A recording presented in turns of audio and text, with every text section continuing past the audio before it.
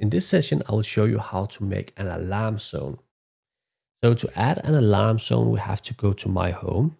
And in the submenu, we can go to Alarms here. Press Add Alarm Zone and uh, then select all of your devices that you would like to add to your alarm zone. I only have two different devices that can actually be incorporated into an alarm zone, but in a bigger house, uh, you might have different types of devices. Uh, but let me just make one alarm zone here. I will include my Shelly BLU motion sensor and I will include my Shelly BLU door window sensor in the alarm zone. So if somebody is opening my door or window, the alarm zone will uh, go off.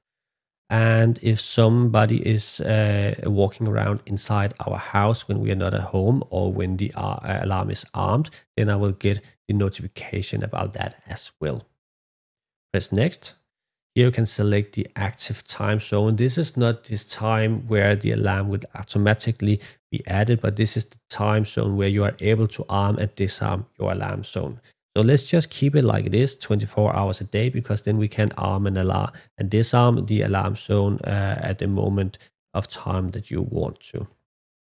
So now you have to change uh, the message that you want to receive when the alarm zone is triggered uh, while the alarm is armed. So um, I will change this from my scenes trigger to uh, somebody is in your house.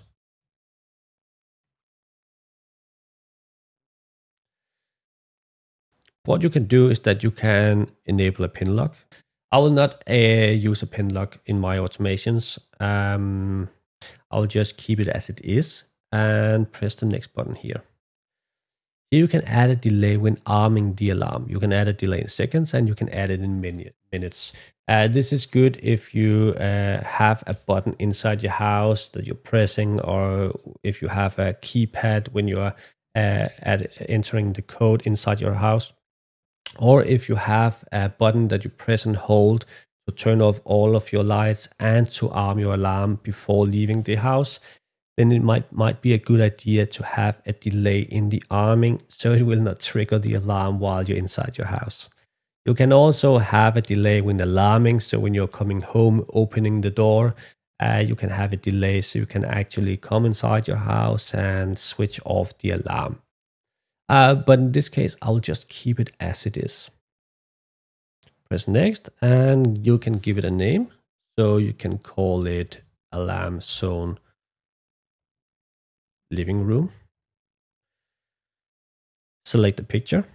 Uh, let's pick a red one for this one.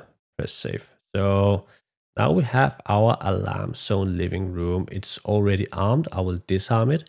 So the way you arm and disarm your alarm zone is simply by pressing uh, the, the shield here. And when there's a blue ring around, it's armed. When there's no blue ring around, it's uh, disarmed. If you have multiple alarm zones, then you can also arm and disarm all of them at the same time uh, from the two icons up here. To add a new alarm zone, you just press the plus icon and then you can add another alarm zone and you can use the same devices for different types of alarm zones. So this is how you add alarm zone. Uh, I would just quickly add it to my dashboard as well because uh, then it's much faster, much easier just to arm your alarm. So press the plus icon, uh, press the alarms, press next, and then select your alarm zone that you would like to add to your uh, dashboard. So this is how it looks like. One last thing I forgot to mention, if you press your alarm zone here, uh, you can go and you can see status of all of your sensors inside your alarm zone. So you can see that there's no motion detected from my motion sensor and the BLU door window sensor is closed. If I'm going to open my uh, BLU motion sensor, it should change the state and that you can see uh, it just changed the state to open now. And I should also be able to trigger my motion sensor. Yeah, like that.